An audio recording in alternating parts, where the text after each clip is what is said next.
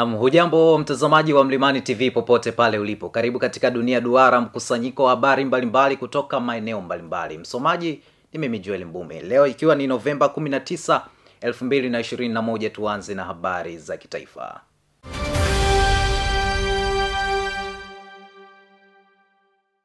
Mkuu wa jeshi la polisi nchini Tanzania IGP Simon Siro amesema jeshi la polisi limejimarisha kwenye upande wa mafunzo mbalimbali ya medani ili kukabiliana na matishio ya uhalifu na wahalifu na kuhakikisha hali ya usalama inakuwa shwari. Gobani Malia ana taarifa zaidi.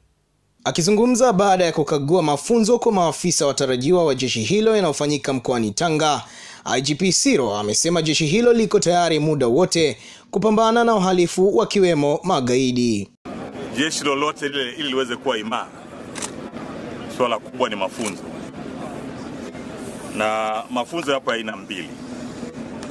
Mafunzo ya kwanza wanasema mafunzo ya ndani darasani, wanakaa darasani, lakini mafunzo aina ya pili ni kutoka nje ya darasa.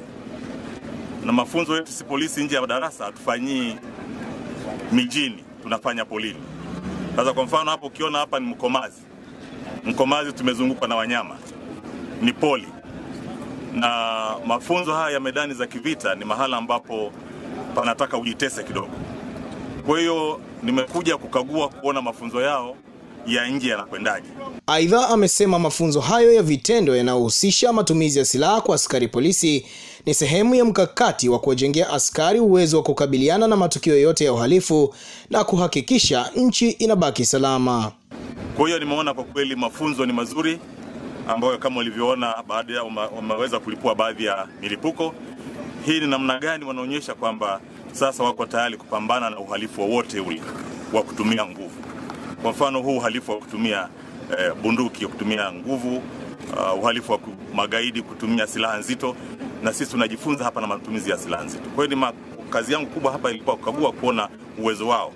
Je, wameiva sasa, wanaweza kutoka na kwenda kuwasaidia Watanzania.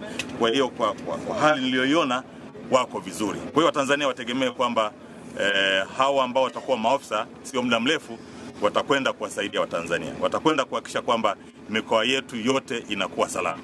Lakini kubwa zaidi, ulikuwa umeulizia miaka 60 hii Watanzania wategemee nini? Kwa hiyo miaka 60 ya uhuru, sisi tumejipanga vizuri kuhakikisha kwamba amani na utulivu vinakuwa vizuri zaidi hata kuliko miaka ya nyuma, na kikubwa tunachoomba kwa Watanzania watupe ushirikiano, watupe taarifa, watambue wahalifu, watuambie wahalifu, tutawashughulikia. Na bahati nzuri wanajua hao wahalifu wanatujua sana. Kuhusu kukithiri kwa malalamiko ya wananchi yakiwataja askari polisi kuwapiga na kuwajeruhi raia wakiwemo wanaowakamata kwa tuhuma mbalimbali, IGP Siro amesema tayari amewaagiza makamanda wa polisi wahakikishe askari walio kwenye maeneo yao wanatenda haki na kuwaheshimu wananchi wakiwemo watuhumiwa wanaowakamata. Nimeelekeza kila polisi ofisa ajue umuhimu wa kutenda haki. Polisi ofisa ajue yupo kwa ajili ya wananchi, ni lazima aheshimu watu, ni lazima wapende watu. Hata wale wahalifu tuwashughulikie kama wahalifu, tusiwashughulikie kama convict, kama wafungwa. Kwa hiyo tunajua sheria, ni lazima tusimamia sheria. Tupo kwa mjibu wa sheria. Kwa hiyo kazi yetu sio kuvunja sheria, kazi yetu ni kusimamia sheria. Lakini waombe sana Watanzania, wakiona askari mmoja, wakiona ofisa mmoja, wakiona mkaguzi amekengeuka, watupe taarifa tuweze kuchukua hatua.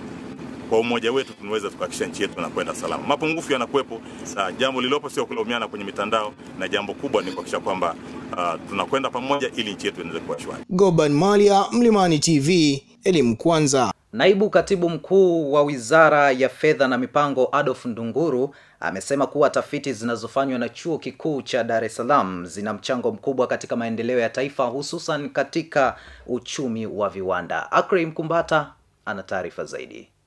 Akizungumza na waandishi wa habari, naibu katibu mkuu wizara ya fedha na mipango Adolf Ndunguru amesema kuwa tafiti zinazofanywa na chuo kikuu cha Dar es Salaam zina tija kubwa katika maendeleo ya taifa letu.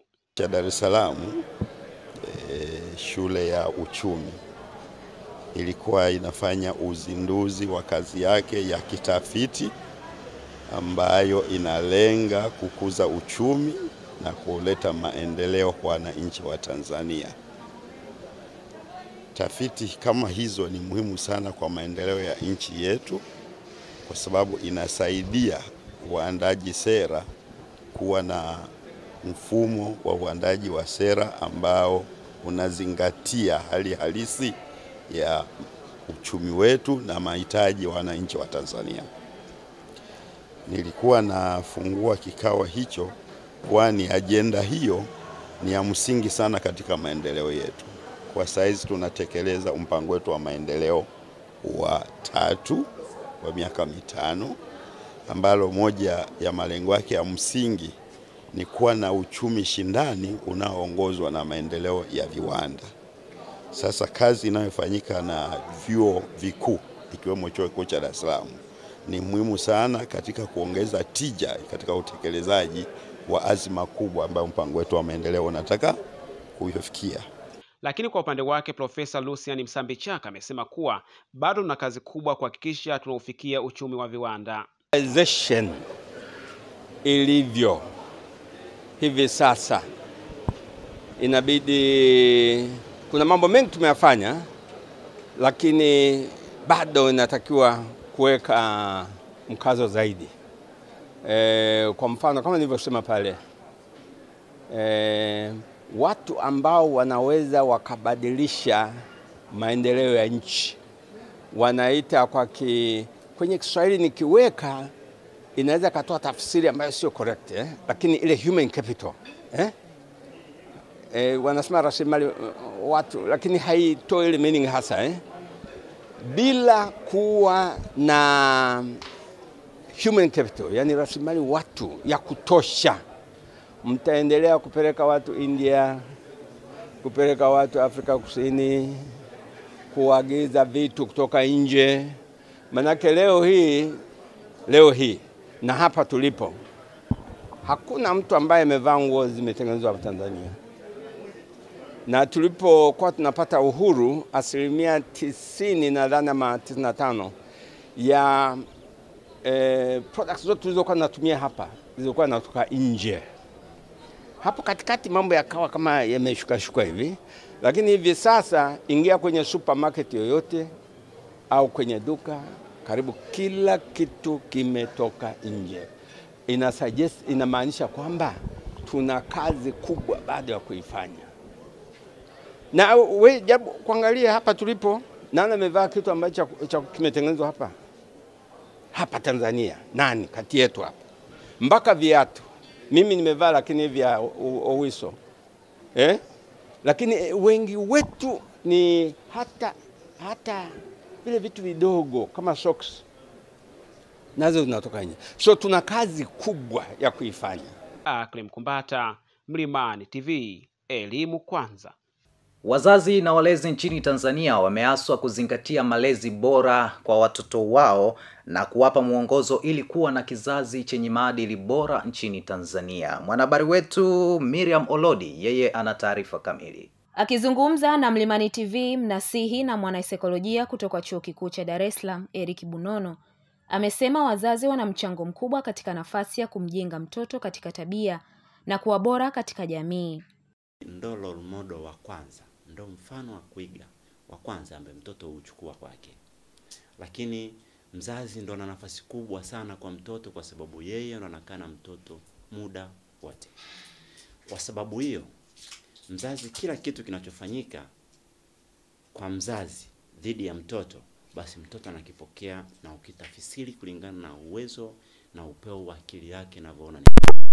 Sasa hii inaweza ikawa ni indirect, yani haiwi moja kwa moja kwamba mzazi amekwambia huwa yule, hapana, isipokuwa malezi ambayo amekuwa akiyapitia mtoto. Amesema ukatili unaofanyika kwa watoto kwenye jamii huathiri mwenendo wao kisaikolojia na kuwasababishia kuwa na maumivu wanapokosa mtu wa kumshirikisha. Hili kuna vitu ambavyo watoto wanavipitia tunaitwa violence, e, ukatili ambao unafanyika nyumbani. Mtoto akiwa anashuhudia ukatili unafanyika aidha kwa mmoja wa ndugu zake au kwa mama yake au kwa baba yake, ama unafanywa kwake yeye moja kwa moja, ule unamwathiri yeye kisaikolojia. Kwa hiyo anavyoona ule ukatili, maana yake yeye anakuwa ana hasira kwanza, kwamba anafanyiwa vitu ambavyo hana sehemu pa kuelezea kwamba nafanyiwa moja mbili tatu. Kwa kuna hasira ndani yake, kuna hisia kali za maumivu ambazo unaita ni emotion ambazo ni za maumivu, ni painful, ambazo hana mtu wa kuzungumza naye kumwambia bwana, mimi nimefanyiwa moja mbili tatu. Kwa upande wake mtaalamu wa afya ya akili Dr. Sesi Makifu amewaasa wazazi wahakikishe wanajizuia kuwa chanzo cha msongo wa mawazo kwa watoto na kuhakikisha wanawatengenezea watoto wao mazingira mazuri ya malezi. Kwa wazazi tuhakikishe kwamba kama wazazi kuzuia wazazi kuwapa stress watoto, tuhakikishe kwamba tunawapa mazingira mazuri ya malezi. Najua kuna challenges hapa na pale, inaweza katokea umetoa mambo mabaya, lakini after some point unajirekebisha, na vile vile kuwa observant, kuangalia mtoto ana act vipi na nini kinamwaffect. Wataalamu hao walikuwa wakizungumzia nafasi ya wazazi na walezi kwenye kujenga jamii iliyo bora isiyo na matukio ya kikatili kama mauaji ambavyo hivi karibuni yameripotiwa kufanywa na vijana wakiwemo wanafunzi. Miriam Olodi, Mlimani TV, elimu kwanza. Nam, bado tukisalia hapa mkoani Dar es Salaam, mkurugenzi wa utafiti na machapisho chuo kikuu cha Dar es Salaam Dr. Musa Mgwatu amesema chuo hicho kipo tayari kushirikiana na wanawake kwenye sayansi na maendeleo ili kuhamasisha watoto wa kike kusoma masomo ya sayansi. Akrim Kumbata ana taarifa zaidi. Katika mkutano wa OWCD Tanzania National Chapter wenye lengo la kuwaunganisha wanawake wote wa sayansi Tanzania, Dr. Musa Mgwatu, mkurugenzi wa utafiti na machapisho chuo kikuu cha Dar es Salaam, ambaye alikuwa mgeni rasmi katika mkutano huo, amesema kuwa chuo kikuu cha Dar es Salaam wapo tayari kushirikiana kwa kuhamasisha watoto wa kike waliopo sekondari kupenda masomo ya sayansi, hivyo wazazi waendelee kuwahamasisha watoto wa kike kupenda masomo ya sayansi katika fani ya sayansi, teknolojia, handisi na mahesabu unachangia katika kujenga uchumi wa nchi, na mimi nimekuja kuwaunga mkono e, kama mwakilishi wa chuo kikuu cha Dar es Salaam kwamba tunaweza tukafanya nao kazi pamoja na hasa kuwahamasisha e, watoto wa kike walioko katika masekondari kuyapenda masomo ya sayansi, e, teknolojia, uhandisi pamoja na mahesabu. Kwa sababu ni masomo ambayo E, katika matumizi yake yanachangia sana katika uchumi wa nchi. Upande wake Dr. Sahara Mkango, mwenyekiti wa OWCD, amesema kuwa yapo mafanikio ambayo wameyapata hasa kwa kuhamasisha watoto wa kike kupenda masomo ya sayansi. Muni kubwa la mkutano huu ni kuwaunganisha wanawake wote wana sayansi ili tuweze kufika na kudiskasi na kuona ni mambo gani ambayo tunaweza kufanya katika nchi yetu ambayo yanaweza kuisogeza nchi yetu iweze kwenda mbele zaidi. Sema tu kwa kifupi kwamba achievement ambazo tumefikia katika hii uh, organization yetu ni kwamba tulijaribu kuidentify shule mbili uh, at the moment, maana ndio tumeanza, kwa sababu hazifanyi vizuri zaidi katika masomo ya sayansi. Kwa hiyo tumeanza nazo hizo shule mbili za sekondari na tumekuwa tukizivisit mara kwa mara, tunawa encourage wa, wanafunzi wa kike waweze kupenda masomo ya sayansi, na tumeona toka tuanze mwaka wa kwanza tulikuta wasichana wachache, lakini tulivyoenda mwaka huu tumekuta kwamba wasichana wameongezeka katika masomo ya sayansi. Nia yetu kwamba ni tunaona kwamba kuna gepu kati yetu na wanaume kuhusiana na masomo ya sayansi. Kwa hiyo tunahitaji wanawake wengi zaidi, na kama unavyojua kwamba sisi wanawake tuna uwezo wa kufanya vitu vingi at the same time. Kwa hiyo ndio maana tunahitaji sana wanawake wengi zaidi, na kama tunavyojua kwamba nchi yetu kwamba sasa hizi tulisema Tanzania ya viwanda. Kwa hiyo bila wanasayansi, ina maana hatutaweza kufika huko, na tunaamini kwamba bila wanawake hatutaweza kufika huko, kwa sababu we are able to do that. Na Masanja, Profesa wa hisabati na Dr. Margaret Samiji Mwaziri mwandamizi chuo kikuu cha Dar es Salaam idara ya fizikia pamoja na Ashura Katunzi, kila mmoja ameelezea namna alivyonufaika na OWCD. Hivyo wasichana wanahimizwa kupenda masomo ya sayansi. Sabati na wakati mimi napata PhD, wakati huo nilikuwa ni mimi tu, unaona, nadhani nimesikia sikia pia kinsa, lakini tumefanya jitihada. Nilikuwa chuo kikuu cha Dar es Salaam kwa miaka mingi na hapa chuo kikuu cha Dar es Salaam ukienda idara ya hisabati ukilinganisha na fizikia utakuta hisabati wa wanawake ni wengi, lakini juhudi tuliziweka, sio kwamba hatukuziweka, na tulikuwa tunashuka mpaka chini, na kulikuwa na mradi mkubwa sana wa FEMSA, Female Education Mathematics and Science in Africa, ulikuwa unafanyika nchi kadhaa za Afrika. Mimi nilikuwa FEMSA Tanzania coordinator. Tumefanya mengi ambayo mengine mpaka upande wa bunge waliweza kuyachukua. Mimi, moja, mimi mwenyewe ni mmojawapo wa mfaikaji wa hii organization ambayo iko Italy katika masomo yangu ya degree ya tatu PhD.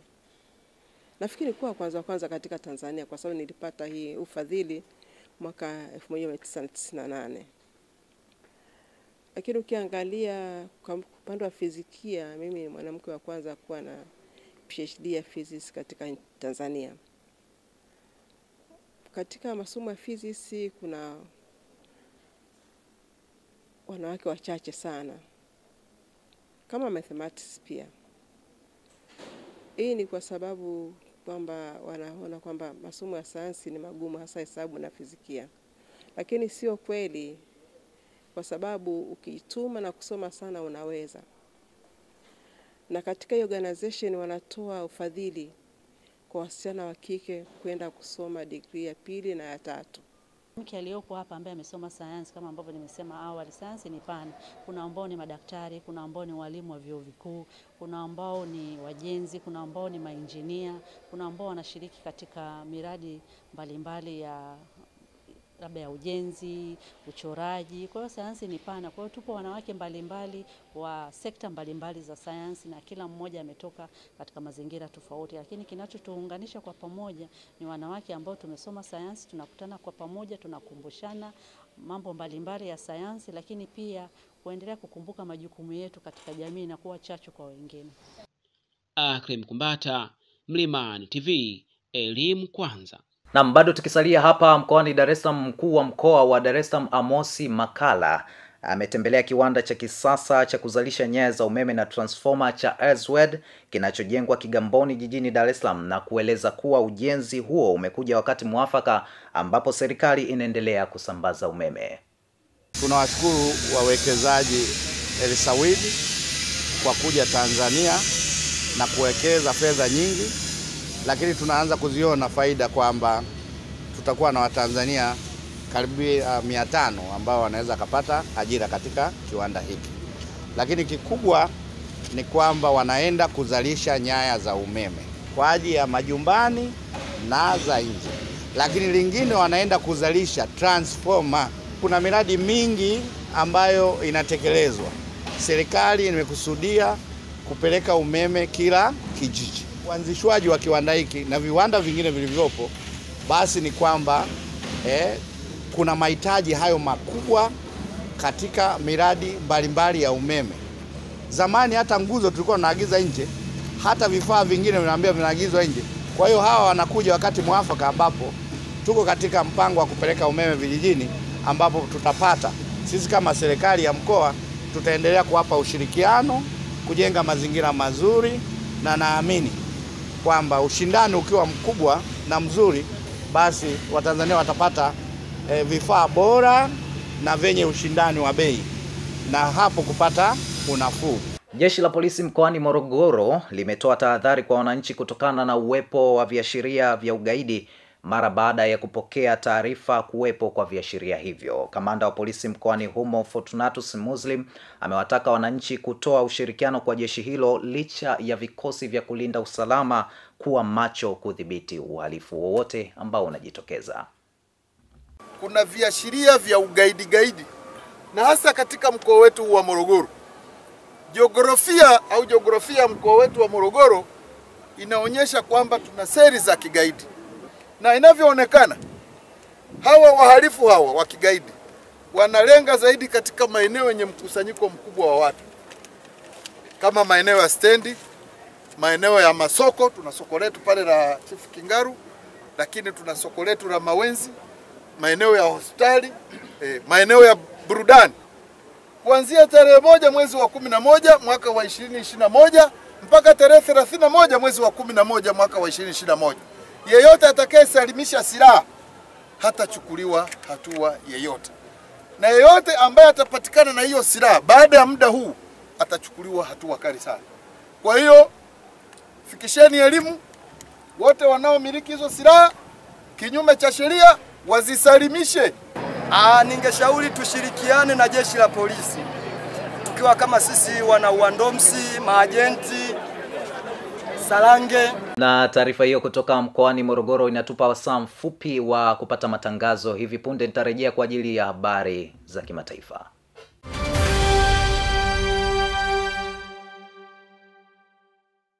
Kila Mtanzania ana haki ya kuila keki ya taifa. Je, unajua namna ya kuipata na kuila? Jiunge na Mlimani TV katika mijadala ya kiuchumi na wataalamu wa sekta hiyo pamoja na wajasiriamali. Ni keki ya taifa, kila siku ya Jumatatu saa mbili na nusu hadi saa tatu na nusu usiku, hapa hapa Mlimani TV, elimu kwanza.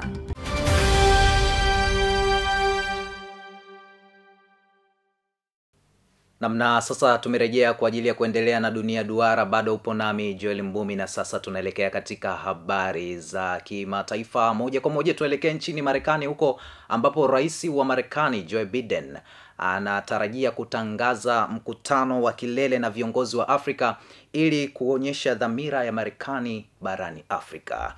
Rehema muhamed yeye ana mkusanyiko wa habari za kimataifa.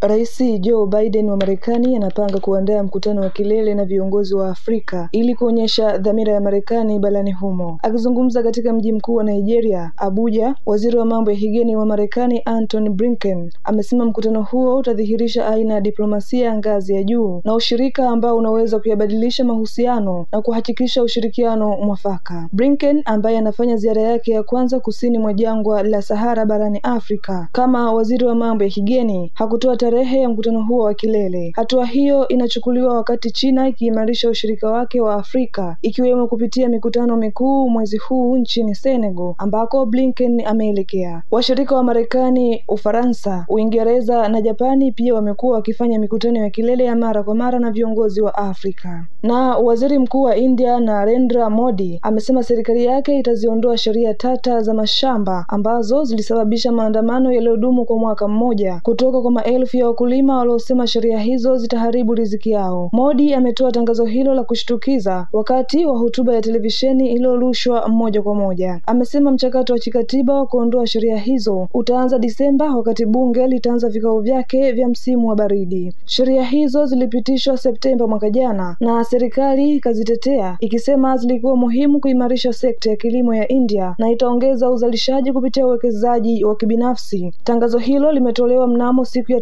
tamasha la Guru Purab ambapo ni sherehe ya siku ya kuzaliwa ya mwasisi wa dini ya Makalasinga Guru Nanaki, na kabla ya uchaguzi muhimu katika majimbo kama Uttar Pradesh na Punjab. Wengi wa waandamanaji walikuwa wakulima wa Chikalasinga na Punjab. Rehema Gohage, Mlimani TV, elimu kwanza. Asante sana Rehema Muhammad kwa taarifa hizo za kimataifa, na taarifa hizo ndo zinahitimisha dunia duara kwa siku ya leo. Eh, kwa niaba ya wote walifanikisha taarifa hizi kukufikia popote pale ulipo, mimi naitwa Joel Mbumi. Kama kawaida, nimalize tu kwa kusema kwamba jua likizama, nyota na mwezi bado vipo, vitakuangazia mwangaza. Hivyo mtu mmoja akiondoka katika safari yako ya mafanikio, wapo wengine mia watakuja kukusaidia. Uwe na wakati mwema.